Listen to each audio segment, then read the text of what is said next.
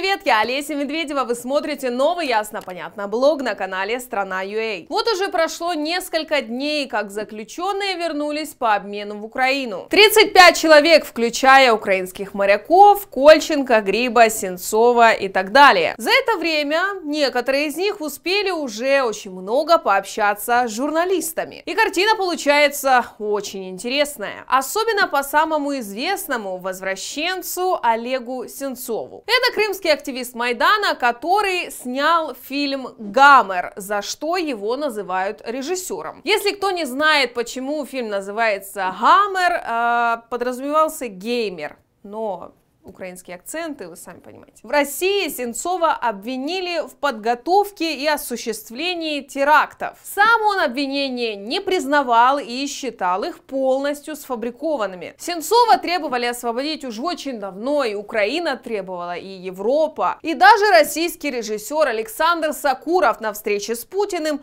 попросил отпустить украинского режиссера Сенцова. У меня есть сердечная просьба к вам, Владимир Владимирович как у гражданина России, как у режиссера. Давайте решим проблему Олега Сенцова, украинский режиссер. 20 лет лагерей. В северном лагере сидит парень. Мне стыдно, что мы до сих пор не можем решить эту проблему. Умоляю вас, найдите решение этой проблемы.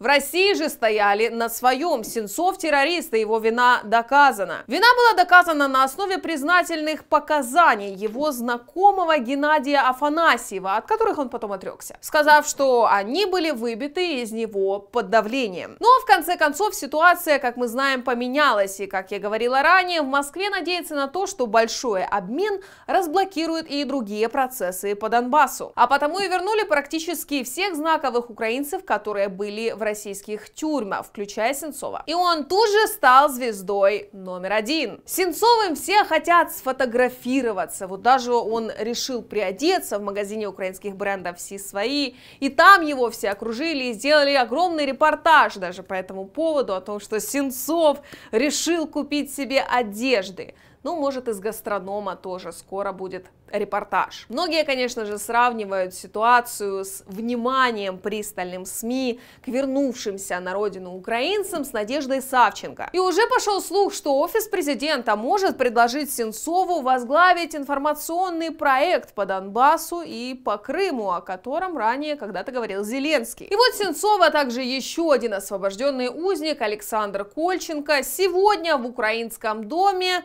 во вторник дали большую пресс-конференцию. Многие с трепетом ожидали, что это будет что-то вроде знаменитой пресс-конференции после возвращения Савченко в мае 2016 года, где она рассказала о своих больших амбициях и навешала всем по первое число. Но вышло по-другому, хотя и не менее интересно. Ну что же они там наговорили, как все проходило и что же было самое интересное? Смотрите до конца и все станет ясно и понятно. Скажу сразу, что разница в поведении Олега и Александра была очень сильная. Было видно, что Кольченко чувствует себя явно не в своей тарелке. Говорил он очень осторожно, скромно так. На многие вопросы он отвечал что-то типа «не в курсе», «был в тюрьме», «не следит за темой». Сенцов же вел себя по-другому, держал себя в руках, говорил очень уверенно, но осторожно от политических оценок уходил. А Зеленском отзывался, ну, очень корректно. О том, что делать с Донбассом и с его особым статусом сказал так тоже очень обтекаемо. Хотя как обтекаемо? В принципе, вполне себе конкретно сказал про Донбасс и про Крым. Чи збираєтеся ви взагалі повертатися в Крим, поки він анексований? Касаемо Крыма, вернуться туда, ну, только на танках.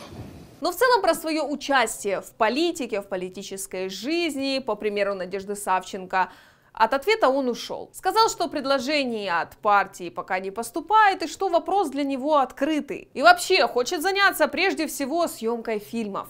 Ну, касаемо меня, я собираюсь заниматься двумя самыми замечательными вещами на этой земле. Это снимать кино и жить. Что, кстати, логично, ведь выборы еще не скоро. Зачем ввязываться непонятно во что? А весь мир его знает не просто как Сенцова или там активиста Сенцова, его знают как режиссера Сенцова. А он всего один фильм снял, и то отзывы на которые весьма, скажем так, неоднозначные. Не знаю, не могу предположить, насколько его режиссерская карьера будет успешной. Но в финансовом плане я думаю, что у него все будет неплохо. Украина сейчас выделяет сотни миллионов гривен на съемку фильмов. И наверняка, как только Сенцов представит нашему госкино сценарий, проект этого фильма, ему сразу же выделят денег, причем немало. Точнее, не так. Ему выделят денег, по сути, столько, сколько он попросит. Но это все такая проза жизни, самое интересное другое. А именно то, что явно было не запланировано. Как я уже говорила, и Сенцова, и Кольченко обвиняют в подготовке и в проведении терактов. Причем сначала Кольченко сознался в них на допросах, а потом сказал, что все эти признания были выдавлены из него под пытками. А потом ему задали вопрос, так, собственно, он участвовал в поджоге офиса Единой России или нет, при том, что этот офис находился в жилом доме. Вы не отрицали, что присутствовали при поджоге офиса Единой России в Крыму, а, но заявляли, что это террористическим актом не является. При этом офис находился а, в жилом доме. А расскажите вашу версию событий и обвинений. Ну, это действительно э, так. Я, э, я принимал участие в этой акции, но э, о том, что это здание находится в жилой зоне, мне не было известно.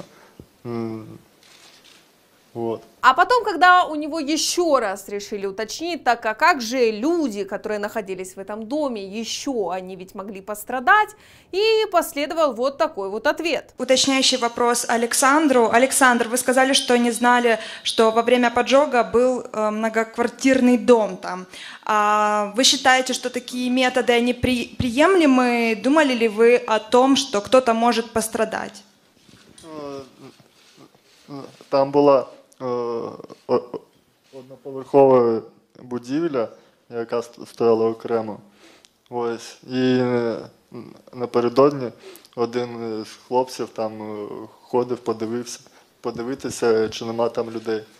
Ось. Ну, А в цій ситуації, яка сталася в Криму, тоді вже не залишалось можливості для жодних мирных заходов. Конечно, может быть и можно поспорить, правильная ли была выбрана статья Уголовного кодекса теракт, это был или не теракт. Но в соучастии он признался прямо здесь, на пресс-конференции. Хотя преступлением это, конечно же, не считает. Сенцов, когда ему задали аналогичный вопрос, совершал ли он на самом деле то, что ему вменяют, он ответил более извилисто. Не совершал, но разговоры вел. И на основании этих разговоров, по которым дали показания его знакомые, потом и появилось дело. Вот что он говорит. Олег, можете озвучить, пожалуйста, ваше собственное мнение а, об обвинениях, которые вам меняли в России после ареста? Э, что было правдой из этого, а что нет? Вот эти все поджоги, подрывы и так далее. Просто расскажите, что было из этого.